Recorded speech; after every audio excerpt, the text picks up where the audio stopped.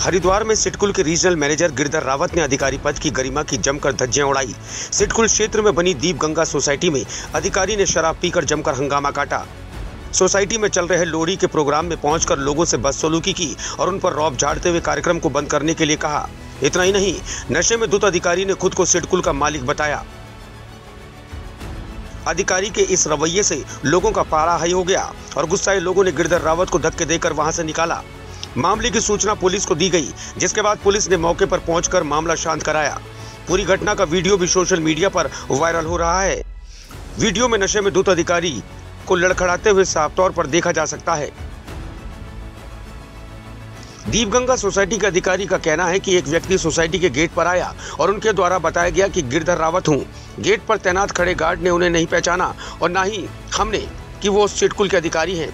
उनके द्वारा गेट पर काफ़ी हंगामा किया गया। उस वक्त वो काफ़ी नशे की हालत में थे। उनके द्वारा कहा गया कि वो सिटकुल के मालिक हैं। यहाँ पर जो भी कार्यक्रम होगा, वो उनकी अनुमति के बिना नहीं होगा। गेट बंद होने पर उनके द्वारा अपनी गाड़ी सामने खड़ी कर दी गई, जिससे आने जाने वाले लोगों को परेशानी हुई। मगर वो गाड़ी हटाने को तैयार नहीं थे। मौके पर पहुँची पुलिस ने मामले को सुलझाया, मगर इस तरह के अधिकारियों पर शासन और प्रशासन को कार्रवाई करनी चाहिए।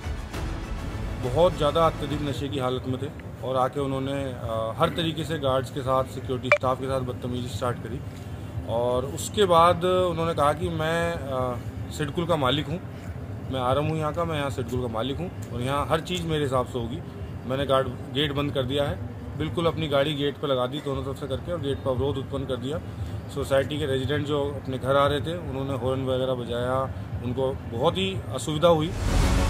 एसएसपी अजय सिंह का कहना है कि पुलिस को सोशल मीडिया और अन्य लोगों से जानकारी प्राप्त हुई कि किसी व्यक्ति द्वारा दीप गंगा सोसाइटी में हंगामा किया गया।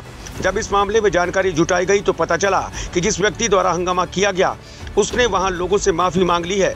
पुलिस के पास कोई लिखित में तहरीर नहीं आई। तहरीर आने पर कार्रवाई की जाएगी।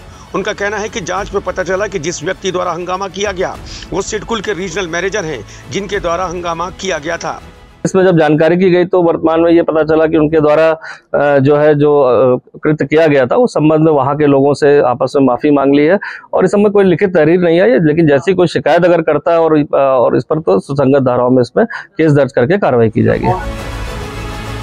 Bureau report, crime patrol.